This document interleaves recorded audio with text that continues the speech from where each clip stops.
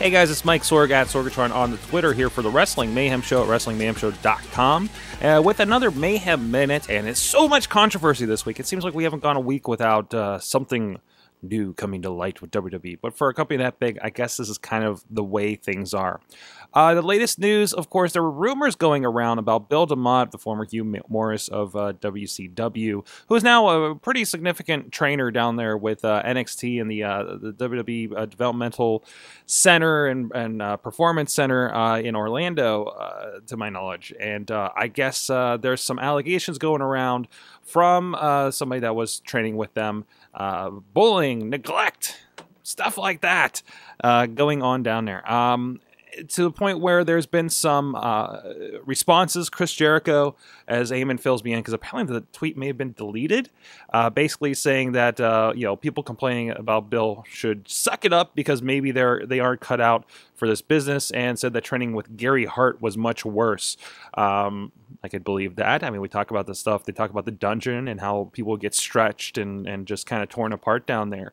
And uh, and then other responses like this one from EC3, Ethan Carter, um, over in TNA. Uh, somebody who interacts with us actually a lot on the uh, Mayhem Show Twitter account. Uh, he says, "I love and sacrifice for pro wrestling. A Hart can stretch me any day. A know nothing dipshit slapping me when I'm concussed is different," which apparently is one of the allegations. Um, and that's that's where that's where I'm at with this. You know, not knowing the full extent or the confirmation of any of these allegations, which, according to uh, this Reddit post with the interview with uh, former WNXT superstar Judas Devlin, um, that you can find out there.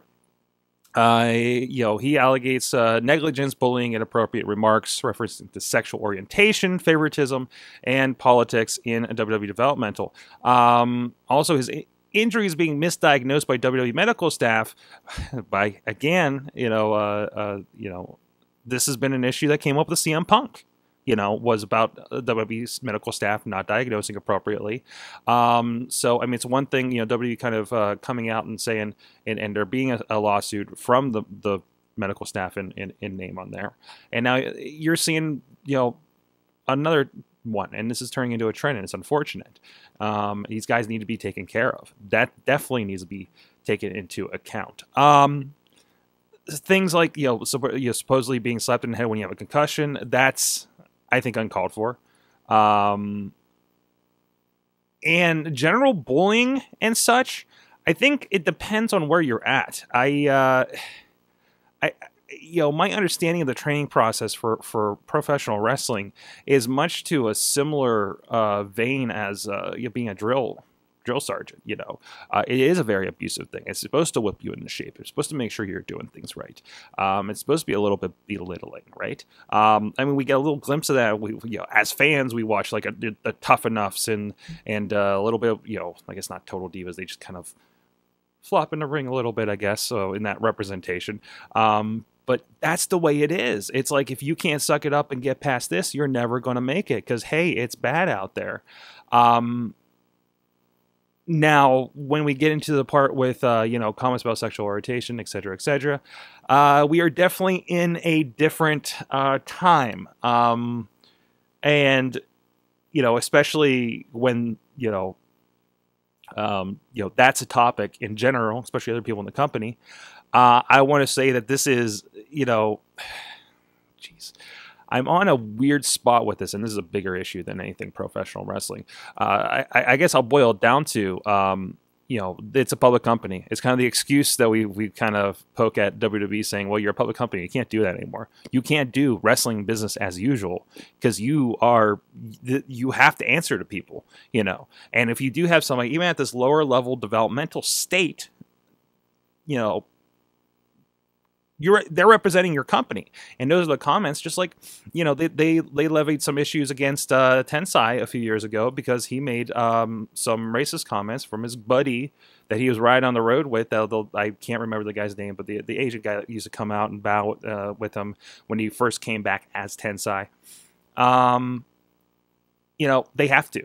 They absolutely have to, especially a company that that wants to appeal to women and and and and multi nations and multi uh, uh, alignments and, and everything. Um, so uh, probably Bill needs to be course corrected a little bit on that uh, uh, to say, hey, you, you can't do that anymore. Which I think I, I agree, you can't do that anymore. As far as bullying, I think the whole wrestling development training is supposed to be a like I say a drill sergeant kind of kind of experience. It's supposed to be tough, you know. How many people came from the performance center and said, you know, puking in buckets, guys from football that that should be in shape, right? Um, and uh, yeah, it, it's just where is the line? I think it's further when you go into training as where the line is. Um, but uh, definitely there needs to be a little bit of correction here if this is what's going on. But again, it's all hearsay. It's just one guy saying, uh, at least at this point that I'm aware of.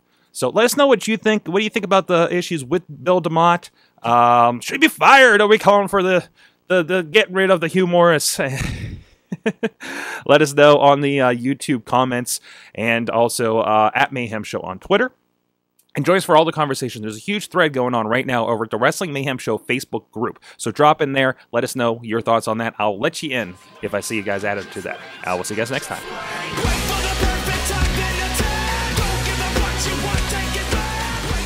This show is a member of the Sorgatron Media Podcast Network. Find out more at sorgatronmedia.com.